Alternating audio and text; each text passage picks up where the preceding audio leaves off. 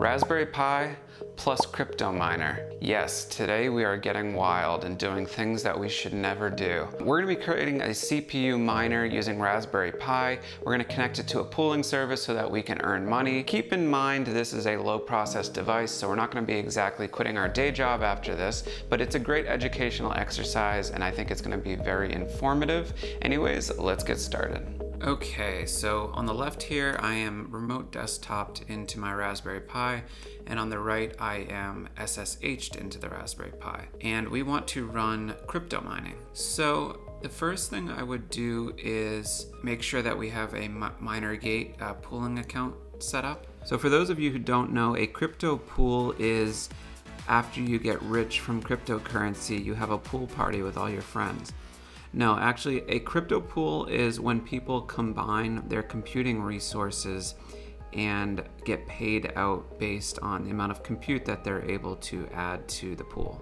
So I'm just gonna navigate over to MinerGate. Okay, so I have MinerGate set up here, and we're gonna be mining Monero. So currently says we're offline, that is right. So the, the script that I wanna use is this guy here, CPU Miner Multi for multi-core. Um, so we're gonna go ahead and grab the repo. We'll come back over to our Raspberry Pi. One thing I'm gonna do is make myself root. So I'm gonna do sudo su dash. Okay, so the first thing we wanna do is make sure our Raspberry Pi is up to date. So we're gonna do sudo apt upgrade and update. Okay, and then we have two commands here that are going to help us uh, compile the code from source. Let's just clone this repo. So git clone. Now we're downloading the directory. Okay, let's go into directory here. And I believe there is a build file. Yeah, build.sha. So let's just run that. Okay, so now we're going to execute the miner script, and the last argument is the email address that we use to sign up with on MinerGate. As always, if you like this video, go ahead and click that like button so we get it out to a wider audience. Thank you. Okay, so we got an error here. So here's the issue.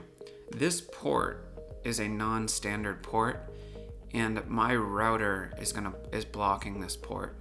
So I'm gonna go ahead and make some changes to my router's firewall in order to allow traffic over this port.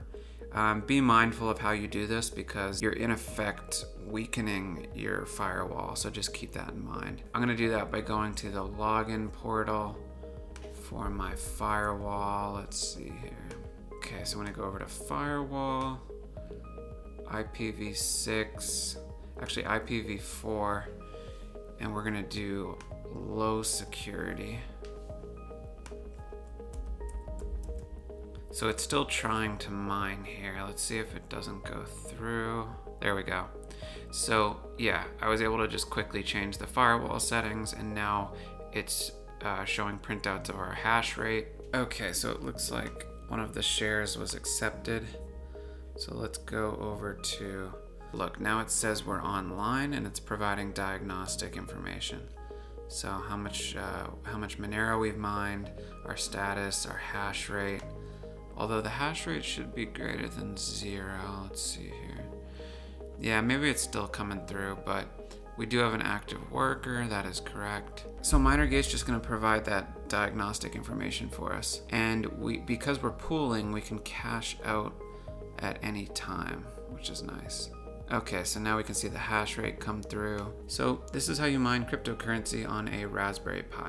If you want to stay apprised of the latest around emerging tech such as IoT, Google Cloud Platform, then go ahead and click that subscribe button so you stay in the loop as we publish new content. Thanks.